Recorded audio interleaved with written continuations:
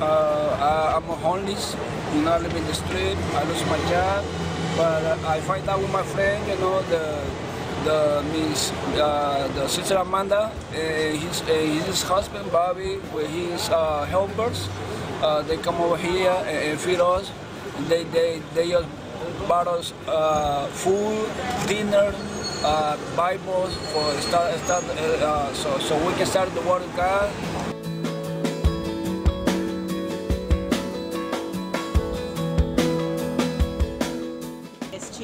Chino is the man. He is our family. Chino is. Yeah. It's hot. Yes, it is hot. Chino not only eats, but he serves. Chino you know. serves and he ramrods. He protects. He organizes and he keeps everybody in line. And he doesn't put up with any disrespect down here. How long you been out here, uh, Chino? Here, it's like 10 months, I think 10 and a half months.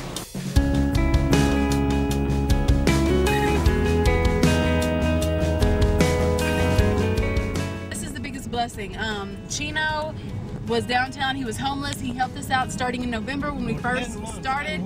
Yeah, he was homeless for 10 months and he helped us for at least eight. And I bet you he was only absent probably five nights out of the whole eight months. Um, but he's going with us now to give back and to help us serve. Um, we want to let him tell you a little bit about what's going on in his life because God has just really blessed him a lot. Chino, what do you got to say, man? What has God done for you? I'm okay. That's what I have. You me a lot. Where are you working?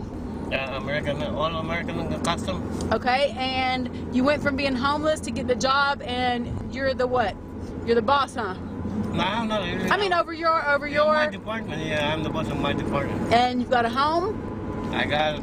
I got a trailer house right now. and do you need, you don't need anything. You got money in your pocket. You don't need sheets. You Not don't need. much, but I got something. If I want to buy something, that's all I can buy it. You now. can buy it, right? Yeah, wow. I can buy my shirt, everything. You can buy toilet paper. You can I- buy food. Actually, yeah. You see what I'm wearing? I bought it. He got off of work a little bit early, so he could go with us and help us. So he's still continuing to serve and to give back, and um, that is our goal. Our goal is to not only feed physically, but feed spiritually, and for the recipients to want to um, give and be appreciative. So we're excited and we're so thankful, and we just look for more chinos in the future.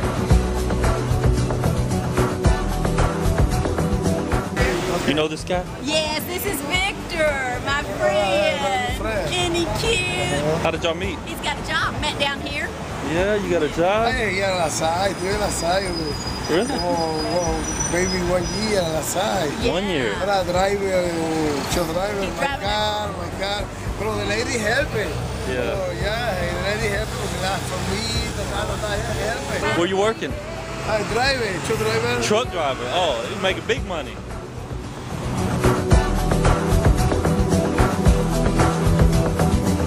we, we, you know, we used to just uh, go downtown to feed the homeless uh, right by the Toyota Center in 2004. So after that stopped, you know, I just feel that, uh, you know, uh, meeting up with meeting up with Trey and Amanda in 2010, you know, it's just one of those things that it was always been on uh, me and Brittany's heart to do it. So, you know, um, we've been right now, it's going on about four or five months. What's the reward for you? Heaven. That's all I'm waiting for. Yeah, man, the, you know, uh, we waiting on for our heavenly Like my mom says, you You know, serve others, you serve God. you know, we, we, we waiting on for our heavenly treasures because, you know, even though if we get blessed on earth, thank God for blessings on earth, but really the treasures up in heaven, which is forever, man, that's what we really focusing on.